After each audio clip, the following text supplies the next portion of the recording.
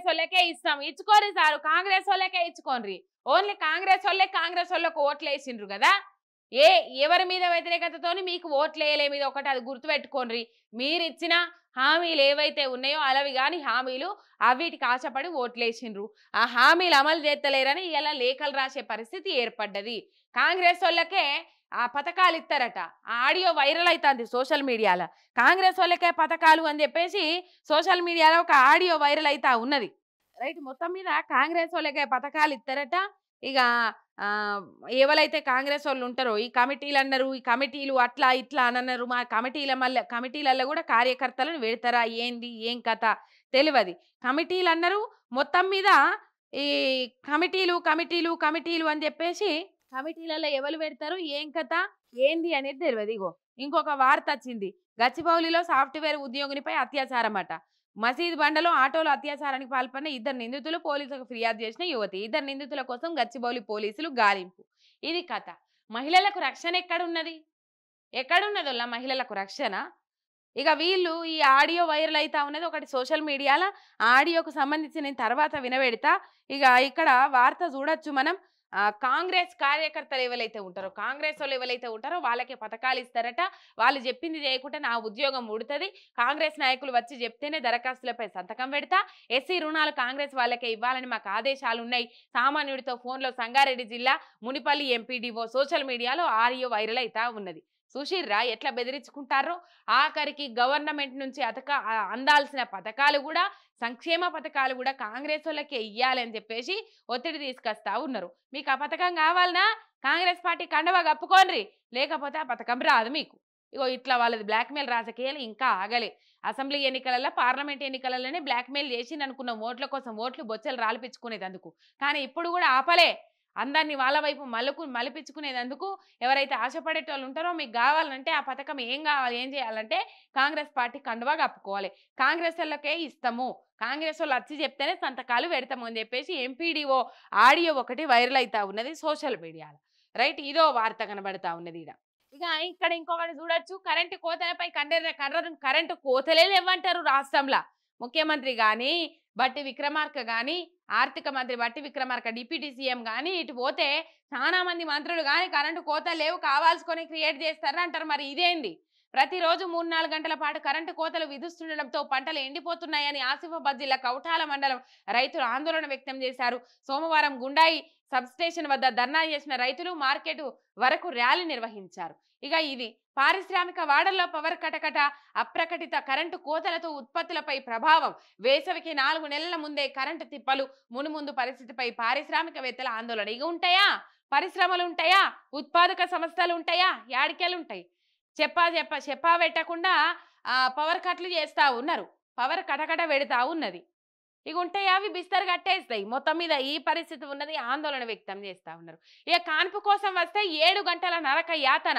Delivery కోసం దవాఖానకు గర్భిణీలు ఆపరేషన్కు సిద్ధం చేసిన సిబ్బంది ఏడు గంటల పాటు పత్తా లేకుండా పోయిన మత్తు వైద్యుడు హుజురాబాద్ దవాఖానాల ఘటన.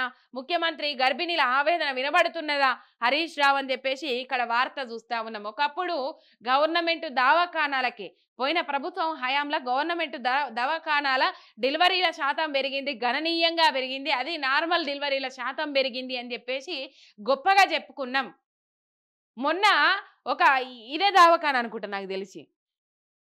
ఏమంటారు? కుర్చీ మీదనే ప్రసవించింది. పట్టించుకోక వైద్య సిబ్బంది లేక. ఇక్కడ ఆపరేషన్కి ఏర్పాట్లు చేసిండ్రట. ఏడు గంటల నుంచి పది గంటల దాకా ఏడు గంటల పాటు మత్తు ఇచ్చే డాక్టర్ పత్తాలేడట జాడాలేడట లేడట. పాపం ఎంతగానో ఆవేదన ఏమన్నా డేంజర్ అయితే ఎవరు భరిస్తారు? ఆ బాధ్యత ఎవరు వహిస్తారు? ఇక్కడ జాడలేడు పత్తాలేడట వీడియో వేపించే ప్రయత్నం చేసిన కానీ ఒకసారి వినబడతా మీకు. ఏం మాట్లాడుతుంది? ఆమె ఏం కథ అనేది. పొద్దుగాల ఎప్పుడో వచ్చిరట వాళ్ళు పాపం. ఇక ఒకసారి వినబెడతా ఆమె మాట్లాడుతుంది.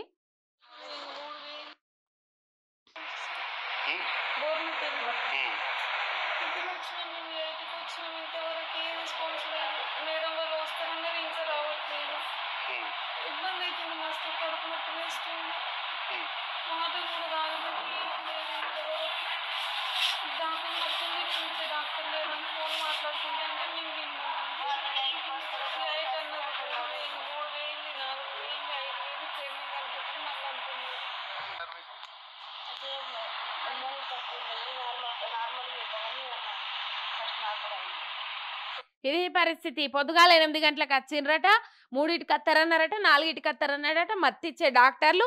ఇక మళ్ళీ ఇప్పుడు మళ్ళీ ఎనిమిది అంటారట. ఇక పదికి పన్నెండు గంటల వాళ్ళు నరక యాతన యాడికేలు అనుభవిస్తారు. పురిటిరాపుల బాధ తెలితే మంచిగా ఉంటుంది యాడన్నాడు దామోదర రాజనరసింహ.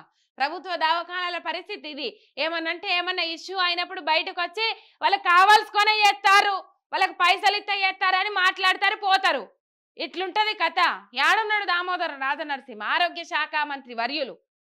ఇలా పరిస్థితి ఇది. గవర్నమెంట్ దవాఖానల పరిస్థితి ఇది.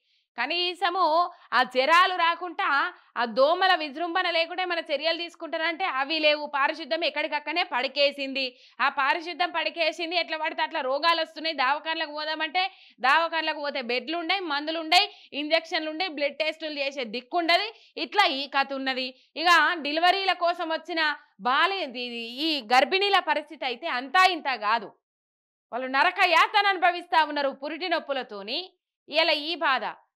సి సెక్షన్కి ఏర్పాటు చేస్తే నార్మల్ కాదనే కదా సి సెక్షన్ ఏర్పాటు చేస్తారు. సి సెక్షన్కి ఏర్పాటు చేస్తే మత్తు ఇచ్చే డాక్టరే లేడట మత్తు సూదులు ఇచ్చే డాక్టరే లేడట. ఇక ఇది పరిస్థితి. ముఖ్యమంత్రి వినబడుతున్నదా? గర్భిణీ స్త్రీల ఆవేదన అని చెప్పేసి హరీష్ రావు ఫైర్ అయినరు. ఇది పరిస్థితి.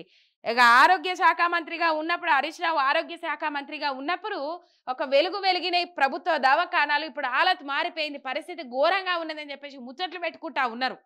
ఇదే పరిస్థితి ప్రభుత్వ దావఖానాల పరిస్థితి.